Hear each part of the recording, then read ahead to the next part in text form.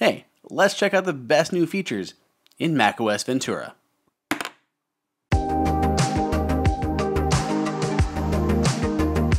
Welcome, everybody. Welcome to AppleInsider. It is Andrew here, and you can find me on Twitter at Andrew underscore OSU. If you haven't done so already, please go ahead and subscribe and enable those notifications so you don't miss a single video. Here, I'm going to walk you through my favorite new features in an overview of macOS Ventura. macOS 13 is set to release this fall and has a ton of new features for users. So I'm going to walk you through my favorite ones that I have been playing around with since I've got it installed on my uh, MacBook Air here. So let's go ahead and dive into it. These are my favorite features in macOS 13 Ventura. If any of you out there are like me, you likely are using a third-party mail application on at least one of your devices. Personally, I've used Spark on my Mac for a number of years, and it's been great. And one of the reasons why is because Apple's mail application, well, good, was missing a lot of key features, and Apple has taken a big step towards correcting that with macOS 13 Ventura. So the biggest thing is search actually works. If you've tried searching in mail before, you may have noticed you'll type something and it just won't come up. You'll see you have nothing from them or they're just out of order, all sorts of weird things. Apple has completely rewritten search and it actually works now. So I am so excited by this. They're able to kind of see um, correct things that you put in. So there's like autofill and auto correction. It is really fast to actually search through. Look how fast these Netflix results came up it's been really very nice. So there's been a huge update to how search is working within Mail, a big upgrade to that. Additionally, there are other features like the ability to schedule a message being sent, reminders to send or reply back to a message, and the ability to undo a recently sent message. Say I've got my Netflix email here, I can swipe to the right, you can see that unread, I can mark it as unread, but keep swiping, you can see I have that new remind me button. So if I click on that, I can remind myself to check back to that in an hour, maybe tonight, maybe tomorrow, or just at a later date. So hit remind me and I can choose a date and time that I'd like to be reminded. I really want to be reminded about Anchorman on Netflix probably tonight. So I'm going to click that right there and it's going to go ahead and remind me tonight about that email. So I'm going to create an email to myself and I'm going to go ahead and send this. But now I have new options. I can send now, just send it as normal. I can send tonight, so it's got pre-designated fillers, so 9 p.m. tonight, 9 p.m. tomorrow, or I can choose again a date and time that suits me. So I'm going to hit send later, pick a date and time, whatever I choose, go ahead and cancel that, and it'll schedule up at that time. But for right now, I'm just going to go ahead and send this email. Now, that email's been sent, but if you notice in that lower left-hand corner, I have the ability within a few moments to hit undo send, and it'll recall that email and let me make some final changes before it gets going.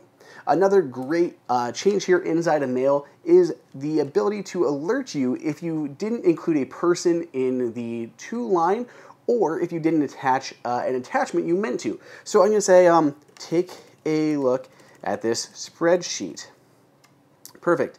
And as I go to send it, now I have an alert saying, did you forget to add your attachment? Because there's no attachment on this email. So it's able to use on-device recognition to understand that I meant to have an attachment and alert me before I actually send it.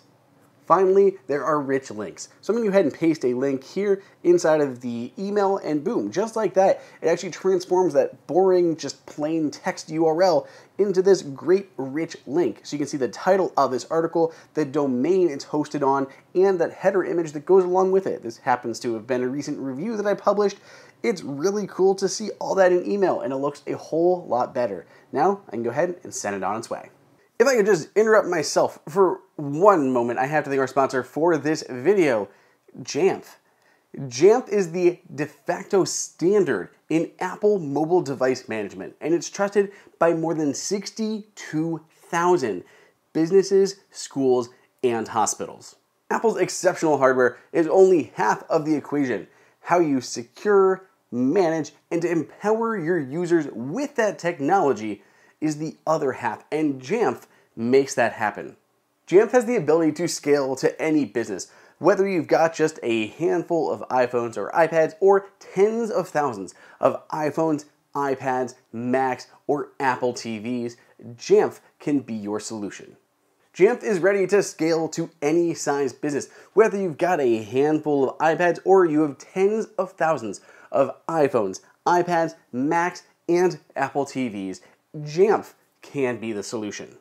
Recently, it introduced App Installers, which is an automated way for IT teams to update third party Mac apps when a new version is released.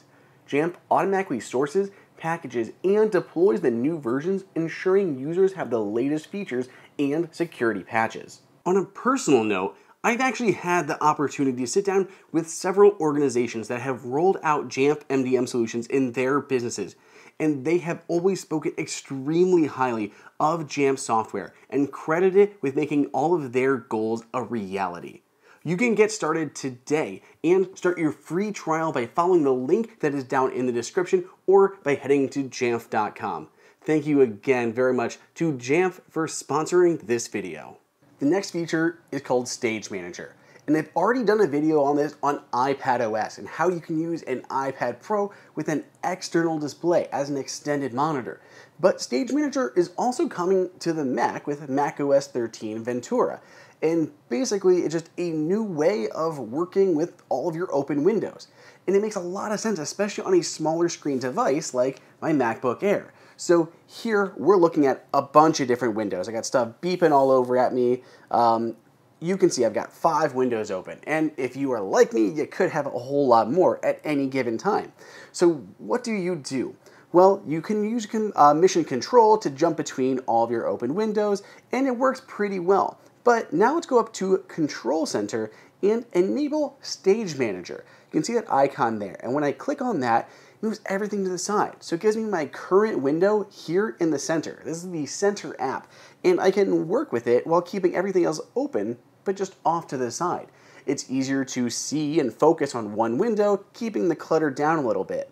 At the same time, this is all still movable. As I move stuff to the side, those uh, actually move out of the way, but I can resize this and I can open up multiple windows at the same time. So I could also open up maybe the clock, new clock app here at the same time. I want to open these up together. So now I can use these both at the same time, open them up just as you normally would on the Mac, work in multiple windows at the same time. But I can also jump between them. So now I have two windows open. I can go over here, jump to podcast it's going to switch those out, bringing podcast front and center while putting clock in the App Store over there to the side. So this is really handy to split stuff up into different spaces and groups based on what you're doing. So I'm working on a video versus working on spreadsheets and documents versus just my personal time of playing games or getting on social media. Stuff like that, I can all break up into these different groups and make it a little bit easier to keep track of what I'm doing. Stage Manager is really cool. I love it on the iPad and it's great on the Mac as well.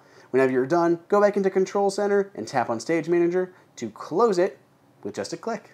One thing that has confounded new Mac users is that Apple always had a different designation for overall system settings. On iPhone and iPad, it was called System Settings, or just the Settings application. On the Mac, it was System Preferences. So there was never this full continuity between Apple's platforms. A lot of people who started on iPhone or iPad and moved to Mac didn't always make that connection with this system preferences. Well, with macOS Ventura, all those iOS and iPadOS users are going to feel right at home. Apple has swapped out system preferences for just a more generic system settings. Now you can open up the System Settings app just from Spotlight Search, or go up to where you did before for System Preferences and now go into System Settings.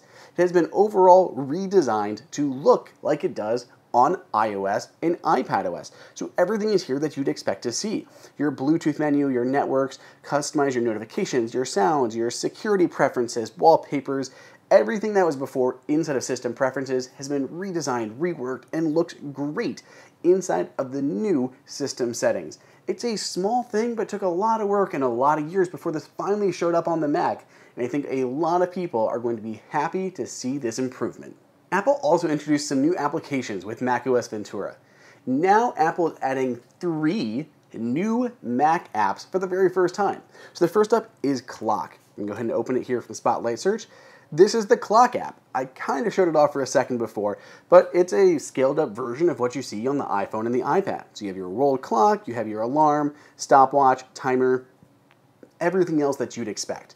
And what's really nice is that it can integrate with different parts of the OS. So if I can go ahead and start a timer, say for 15 minutes, perfect. It's counting down and immediately you see it show up there inside the menu bar. And going further, I can actually quit the app completely. It's closed in the dock and everything. That timer is still running up there in the menu bar. And when it does go off, a notification will come in that will be persistent until I actually dismiss it.